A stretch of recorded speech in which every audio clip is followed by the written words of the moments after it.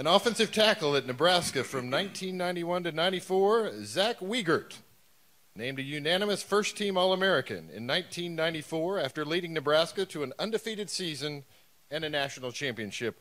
Zach, you were part of some of the most dominant Cornhusker teams of the 90s. Is there a game or a memory that sticks out to you above the rest? And what does it mean to be a part of such a rich legacy of football tradition at the University of Nebraska?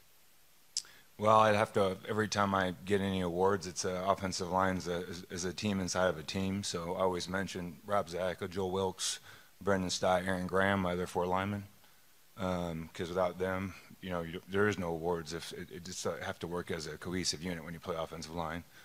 I would say I'd have to say our, our championship against Miami would be the game just because we lost to Florida State the year before, two years in a row before and uh, and uh, you know to come back and, and have an undefeated season and miss a field goal to win a championship and come back the next year and win it was was big.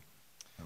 You had an opportunity to block for 3,000, 1,000 yard rushers, and only you only gave up one sack in 37 starts.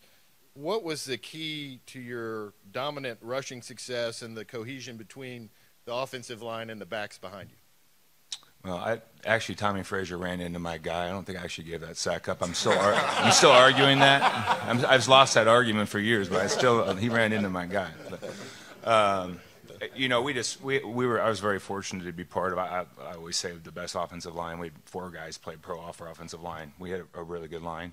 Uh, we would have Rashaan, who we played against every year. Uh, we he probably rushed for 2,500 yards. we, but we had some great running backs as well.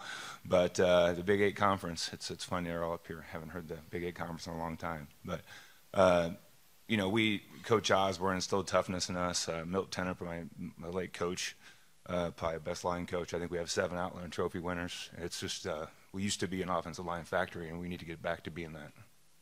Nebraska Hall of Famer Zach Wiegert.